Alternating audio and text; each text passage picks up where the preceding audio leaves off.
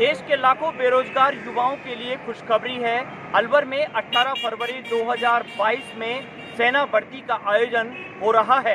इसके लिए सेना की तरफ़ से एक माह का टाइम टेबल आज ही जारी किया गया है। के लिए आज ही पत्र प्राप्त हुआ है और उसके लिए जो है 18 फरवरी से डेट बताई गई है। पहले पूर्व में जो 12 फरवरी जो डेट दी गई थी, अब 18 फरवरी 2022 से सेना भर्ती का एक महीने का प्रोग्राम अभी आज ही प्राप्त हुआ है।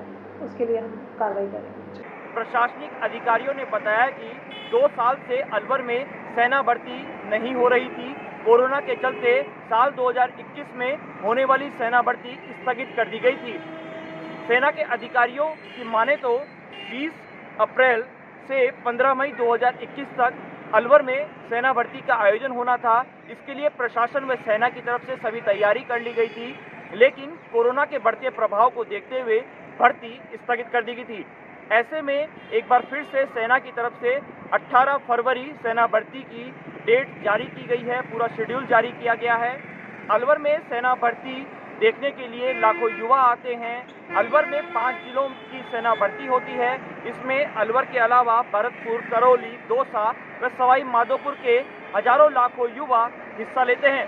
अलवर की सेना भर्ती पूरे देश में खास स्थान रखती है व सबसे बड़ी भर्ती होती है। सेना को अलवर से बेहतर युवा मिलते हैं। इसलिए हर दो साल में सेना की तरफ़ से अलवर में सेना भर्ती का आयोजन होता है।